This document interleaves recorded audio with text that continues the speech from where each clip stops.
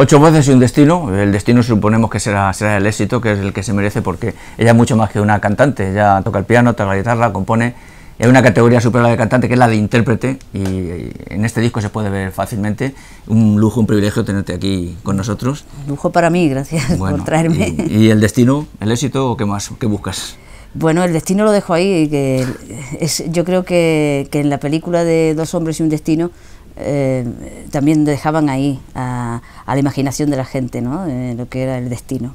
Se, supone que se pretende lo mejor, ¿no? Es indudable. Destino. Además va muy bien acompañada en este disco, con una gente extraordinaria también. Sí, sí, en un principio no pensábamos que, iba a ser un disco casi, casi de dueto, pero fue una cosa así como muy bonita, muy sin buscarlo. Y sí, hay aquí unas colaboraciones preciosas de, de cantantes que yo admiro, como Carmen París, Rival, Javier Rival, eh, Enrique Heredia Negri, cantador de flamenco, Tony Senet, eh, Muerdo, este es, este es nuevo, ¿eh? Sí, lo conozco. ¿Lo conoces? Sí, Bien. estuvo aquí en Clamores hace poco.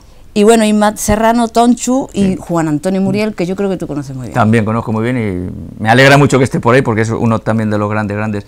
Eh, la, idea ha salido de ti, de llamarles a ellos o cómo fue? ¿Por los temas o por qué? Eh, yo creo que fue una cosa pues muy sentida, que salió, primero fue el, eh, con Tony Senet, y a partir de ahí pensé en Ruibal, luego vino la posibilidad de Carmen París, fue una cosa como muy...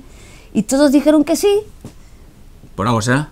Entonces digo, esto es que esto que creo que está pasando algo, digo, si están diciendo que sí, y además mm, yo no era realmente amigo de todos ellos, ni mucho menos, con lo cual vi que era un sí muy sincero, que realmente era porque le gustaban eh, por, mm, la música, el trabajo que yo hacía, y yo creo que es la mejor manera. De, que, hagan una colaboración contigo, porque eso del amiguete, ¿no? Ya, eso se va mucho últimamente, pero bueno, quien escucha el disco eh, lo, puede, lo puede comprobar. Tú tienes una larguísima carrera ya en lo musical y esto supongo que sea un paso hacia adelante.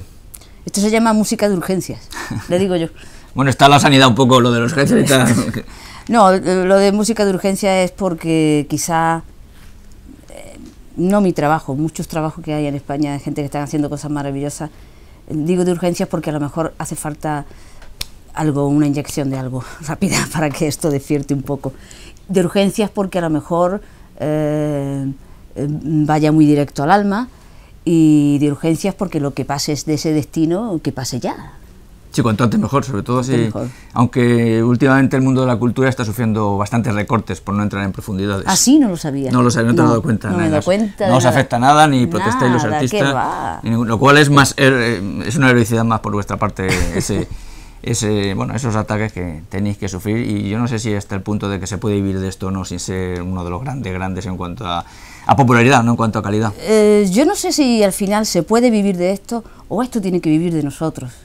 Es una cosa extraña que si te lo planteas, eh, ¿qué hacemos? ¿Dejamos, dejamos al mundo sin esto? No, no, esto tiene que vivir de nosotros, de los que nos somos capaces de, de olvidarnos que debemos nuestra factura y nos sentamos para que eso siga viviendo. Uy, muy filósofo estoy yo. Ya, ya veo. Desde luego, si perdiéramos también la, música, la cultura, estaríamos perdidos. Supongo que el disco que acaba de salir, luego habrá una presentaciones en, en diversos sí, sí, Tenemos en Madrid. Sí, en Madrid, en, en Clamores. Clamores, el 27 de noviembre.